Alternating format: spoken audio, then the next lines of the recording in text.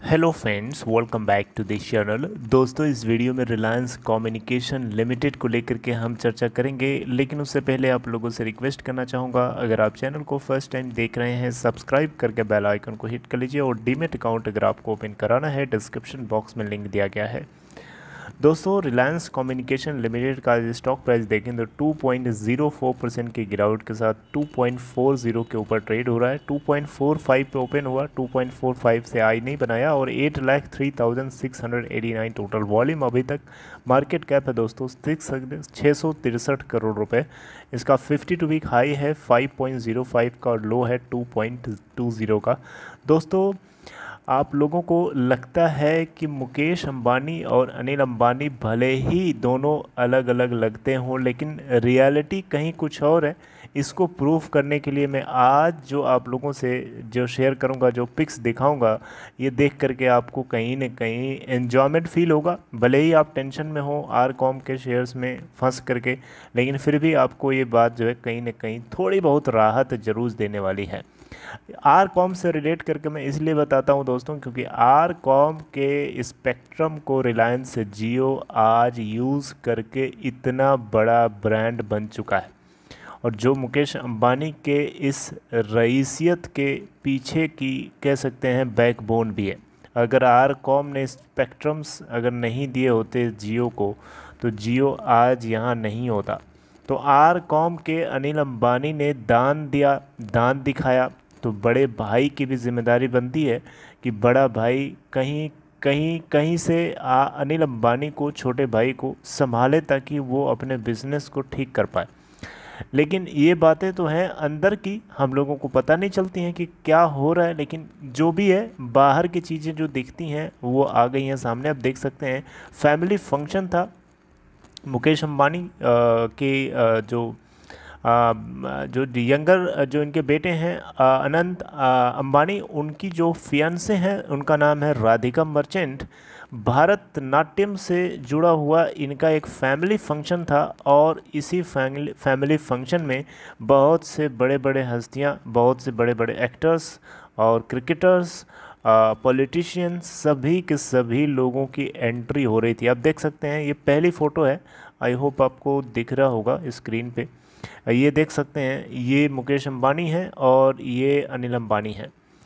आप देख सकते हैं, ये क्लियर पिक्चर साफ़ साफ़ दिखाई दे रही है। दोनों भाई एक दूसरे से ऐसा लग रहा है कुछ किसी मुद्दे के ऊपर बातचीत करके मुस्करा रहे हैं।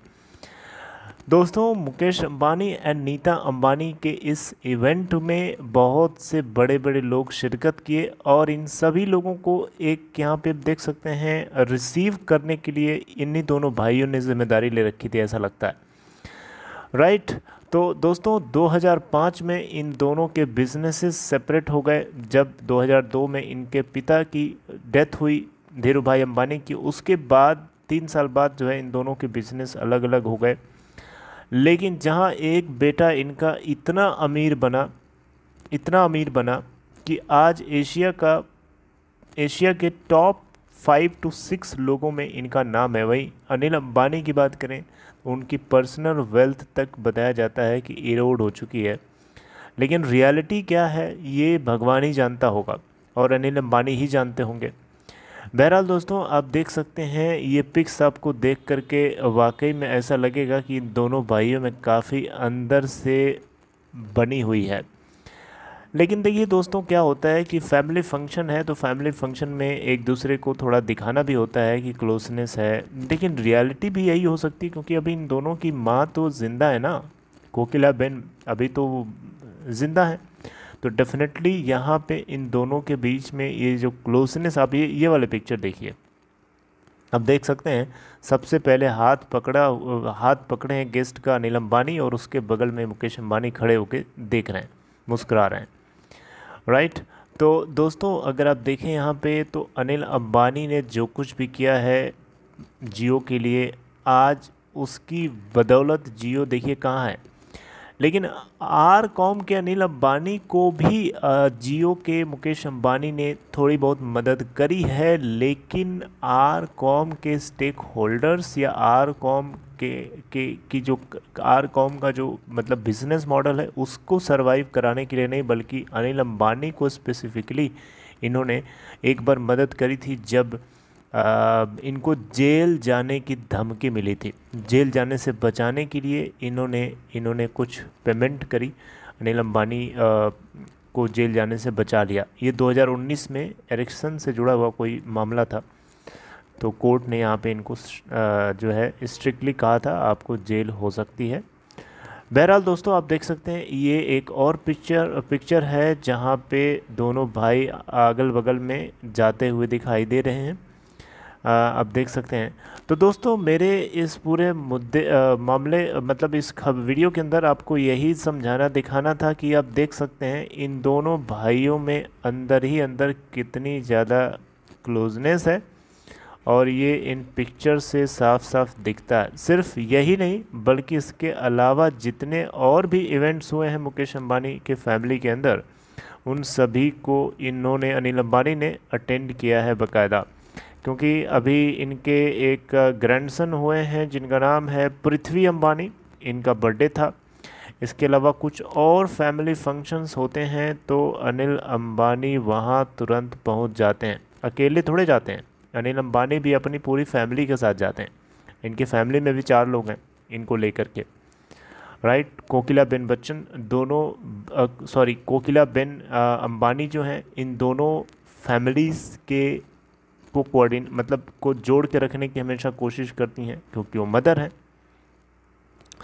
तो दोस्तों, ये छोटी सी जो झलक है फैमिली के अंदर, दोनों भाइयों की, आप लोगों को आई होप थोड़ी बहुत राहत दे रही होगी इस बात को लेके कि चलो, कम से कम मुकेश अनिल अंबानी और मुकेश दोनों एक दूसरे के साथ तो हैं।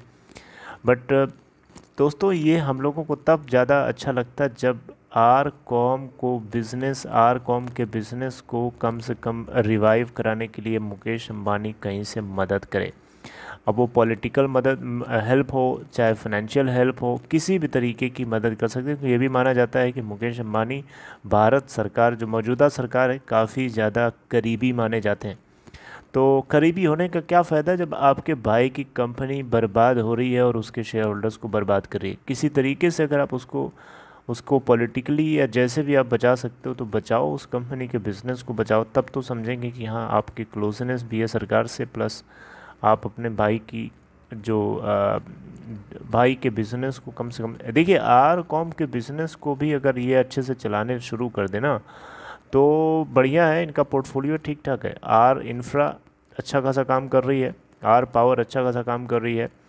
आर कैपिटल भी अच्छा खासा कर रही थी लेकिन उसके जो डेट हैं उसको लेकर के आरबीआई ने अपनी मतलब जो हद पार कर चुका है ऑलरेडी आरबीआई उसको इंसॉल्वेंट मतलब उसके खिलाफ जो है एनसीएलटी के अंदर प्रोसीडिंग चलवा रहा है। राइट right, तो इनका पोर्टफोलियो ठीक है कोई दिक्कत नहीं है बस इनके सारे जो डेट हैं उस डेट को रिड्यूस अचानक इनके पास पैसा तो बरसेगा नहीं पेड़ तो लगा नहीं है कहीं इनके पास। कि पेड़ हिलाया और पैसा गिर गया, पूरे सारे कर्जा उतार दिया। ऐसा तो हो नहीं सकता। तो ये धीरे धीरे जो है कर्जे से बाहर आने की कोशिश ज़रूर कर रहे हैं, लेकिन कर्जा इतना बढ़ चुका है कि ये दब जा रहे हैं, कमज़ोर पड़ रहे हैं। आर कॉम को सरवाइव कराना, उसके जो रिमेनिंग बिज़नेस है, उसको सही तरीके से, अच्छे से उसको कंडक्ट करना, ये बहुत ज़रूरी है आर कॉम के स्टेक होल्डर्स के लिए। प्लस कंपनी अच्छी खासी बनी बनाई इन दोनों भाइयों के बड़े रिस्पेक्टेड फादर धीरू भाई अंबानी की बनाई हुई पहली कंपनी है राइट तो उसको एटलीस्ट जो है चलते देना रहना चाहिए। बाकी देखते हैं क्या होता है। दोस्तों आई होप आपको ये छोटी सी वीडियो अच्छी लगी होगी। I hope you liked it अगर आपको ये कंटेंट अच्छा लगा हो लाइक कर दीजिएगा इस वीडियो को। बाकी आप अपना ख्याल रखिए। आगे मिलेंगे हम, कोई अपडेट आएगी उसको लेकर के डिस्कस करते हुए। Till then take care